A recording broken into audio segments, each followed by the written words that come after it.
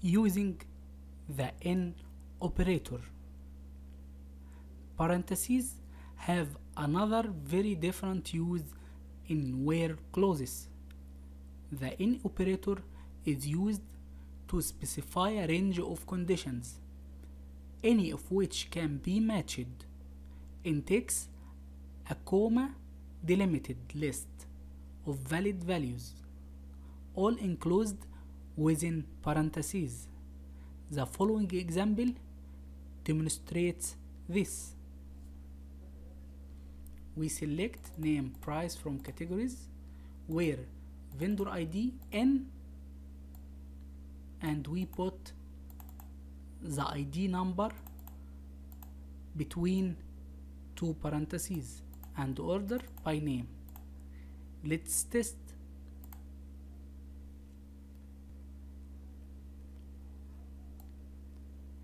As you see,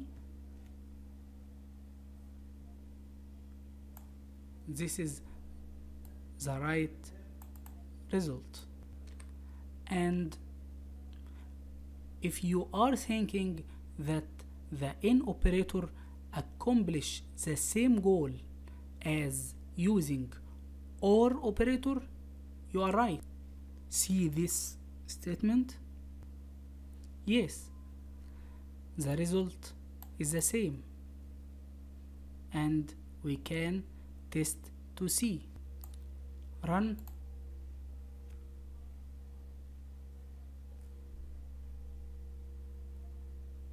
Okay the result is equal. So using or gave the same result as using in but why use the in operator the advantages are when you are working with long lists of valid options the in operator syntax is far cleaner and easier to read. The second benefit, the order of evaluation is easier to manage when using in because it is a few operator used. And the in operators almost execute more quickly than lists of OR operators.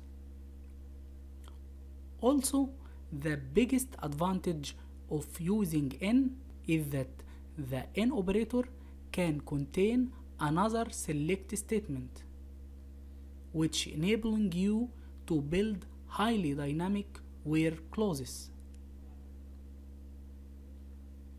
So let's go to the next step using the not operator. The where clauses not operator has one function only which negates whatever condition comes next so not a keyword used in a where clause to negate a condition and important note in MySQL it was supports the use of not to negate in between and exists. This is quite different from most other databases.